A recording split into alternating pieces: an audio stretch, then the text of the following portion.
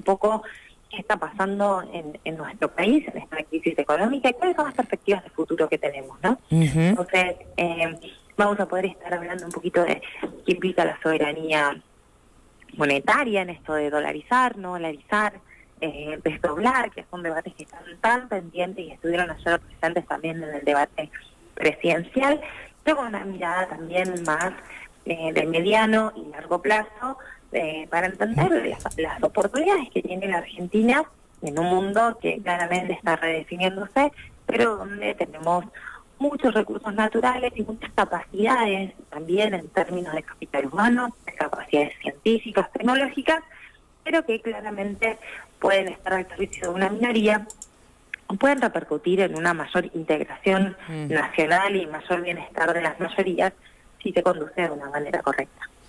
¿Cómo le va, licenciada? Buenos días, Andrés la saluda. Muy em, buenos días. Ayer eh, Sergio Massa cuando tuvo su momento de hablar de, economía, em, lo, primero que dijo habló de la creación de una moneda digital. Mm. Eh, esto como para, para tener una alternativa y sostener también la, la moneda nacional, que, que, en este caso sería el peso, respecto a lo que es el debate principal dentro de lo económico en, estas elecciones, que es la dolarización. Eh, ¿Cuánto beneficia y cuál es la posibilidad eh, de cómo implementar una moneda digital nacional? Bueno, la realidad es que las monedas digitales de los bancos centrales son una herramienta que han estado debatiendo los, los principales bancos centrales del mundo y que se debate, por ejemplo, en el G20 eh, mm. y en la OECD. Eh, China ya tiene su moneda digital y lo que hace es eh, dotar de mayor tecnología y seguridad a la actividad monetaria que ya realiza nuestra, nuestro Banco Central. ¿no? Entonces, es un fortalecimiento de nuestra moneda, nuestros sistemas, nuestra independencia. Saben que hoy uno de los principales eh, desafíos que tiene el sistema financiero en su conjunto es todo lo que tiene que ver con ciberseguridad.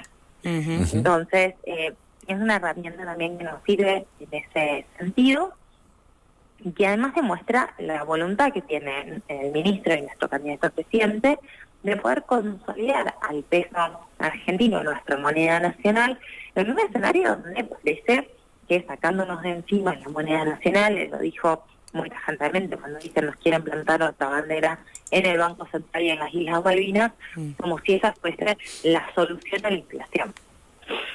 Eh, dentro de, la, del debate, justamente, eh, muchos piensan a lo mejor que dolarizando vamos a alcanzar una estabilidad económica, pero es una estabilidad económica dependiente de o del Banco Central de otro país mm. eh, o del Tesoro de Estados Unidos en general. Vamos a perder la posibilidad de emitir. Por supuesto, y además te completo que me parece que lo que se va a generar es mayor inestabilidad, porque ¿cómo se garantizan las transacciones? ¿Cómo se garantiza la creación de empleo? ¿Cómo se garantizan un montón de herramientas considerando eh, que ni siquiera vamos a tener eh, estabilidad para fomentar nuestros sistemas financieros, generar ahorro nacional, etcétera, etcétera. ¿no? En realidad lo que se va a generar es una inestabilidad, quizás no de precios, pero sí en términos de producción, en términos de desempleo, en mm. términos de falta de oportunidades. Eso es lo que está en juego cuando hablan de dolarizar. Eh, es, es, interesante y creo que la economía, sin duda alguna, por lo menos lo que hemos podido alcanzar a ver en el debate de ayer, principalmente algo que está bastante fresco, eh, bueno, habrá notado, licenciada, usted, que en el primer eje temático que fue economía se gastaron los derechos a réplicas, se, se dio el mayor debate porque parecería que está centrado, así como hace un par de años fue la seguridad del eje temático principal, ahora parecería que está centrado la búsqueda de votos en lo económico mm. directamente o en los planes económicos que tengan y mal o bien o distinta de distintas perspectivas se están presentando mínimamente eh, proyectos, se están mm. presentando propuestas mm. de cómo resolver la cuestión económica en el país. Entonces es importante justamente eh, tener este tipo de taller, este tipo de conversación para conocer un poco más adentro de qué estamos hablando antes de ir a votar. Sí, igual me parece que eh, realmente las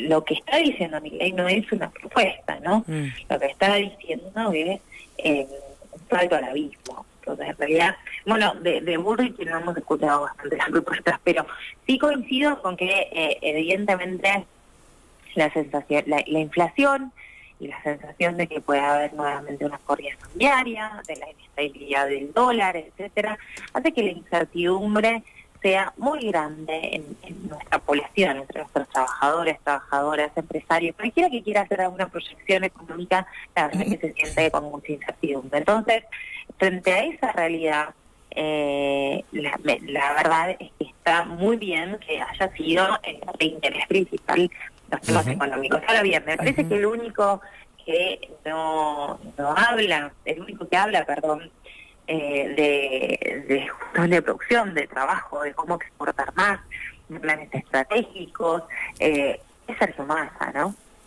Me parece que lo otro son, lo único que dijo mi ley es que no va a solucionar las cosas con ajustes, cuando dice mm. que el problema es el déficit fiscal, porque no habla de un equilibrio fiscal para hablar de la responsabilidad, sino que habla de ajustar jubilaciones, de sacar pensiones, de que digo, el Estado son, son, esos tipos de gastos principalmente. Y me parece que más se lo dijo muy claramente. Si quiere, además, eh, empezar por equilibrar las cuentas, pueden tranquilamente en diputados votar para que se les saquen los subsidios a las grandes empresas del país, que son alrededor de un 4,5-5% del PBI de nuestro país. Entonces, ¿qué, es lo que dice cuando quiere eh, terminar con el déficit fiscal? ¿Quiere ajustar a los trabajadores? ¿Lo que quiere realmente eh, contribuir a mayor estabilidad y mayor gobernabilidad? Me parece que eso lo vamos a ver también en lo que esté votando la libertad. Bien, licenciada, bueno, en este en este taller eh, debate se van a tratar seguramente estos temas y, mucho más. Coméntenos un poquito más acerca de, de, la actividad, cuándo se va a realizar, dónde se va a realizar y a quién está dirigida porque sabemos que hay una inscripción previa. Bueno, está está dirigida al, público en general, por supuesto, pueden ir eh, también eh, los estudiantes, docentes, vamos a estar, como les decía, organizado por la vicerrectora de la Universidad Nacional de La Rioja, la contadora María del Carmen Corso y la Comisión de Jóvenes Profesionales de Ciencias Económicas. Vamos a estar entonces el día 4 en el anfiteatro ese 11 de diciembre de 18 a 20, 30 horas. Bien. Bueno, se entrega certificado también para los y las asistentes y, bueno, la verdad que será un placer que se puedan acercar todos y todas para que podamos eh, discutir un poco de cómo se sigue adelante con más propuestas, cuál es, qué, es lo que vemos como sectores estratégicos en cuanto a lo que van a aportar eh, la minería, el petróleo y el gas, las opciones económicas y cómo efectivamente, aunque realmente a veces los números de inflación en el corto plazo no lo dejan ver, este gobierno está contribuyendo y particularmente Sergio Massa está poniendo en orden eh, indicadores y proyectos económicos, como es el caso con Lester Kirchner, como son las inversiones, como es lo que está pasando en Petroligas, para efectivamente hacer un cambio que llamamos los economistas estructural en la Argentina, que nuestro crecimiento no dependa solamente del agro, donde si hay una sequía nos quedamos en 20 mil millones de dólares, sino que también tengamos sectores estratégicos que puedan proveernos esas divisas internacionales tan necesarias para apalancar el desarrollo nacional y con eso generar puestos de trabajo genuinos, dignos y que dignifiquen la vida cotidiana de nuestro pueblo. Bien, bien, perfecto. Entonces, licenciada, nosotros le agradecemos la comunicación. Vamos a estar, obviamente, que replicando toda la info para quienes quieran participar y un placer recibirla. Bueno, muchísimas gracias. Hasta luego. Que tenga lindo día. Hasta luego.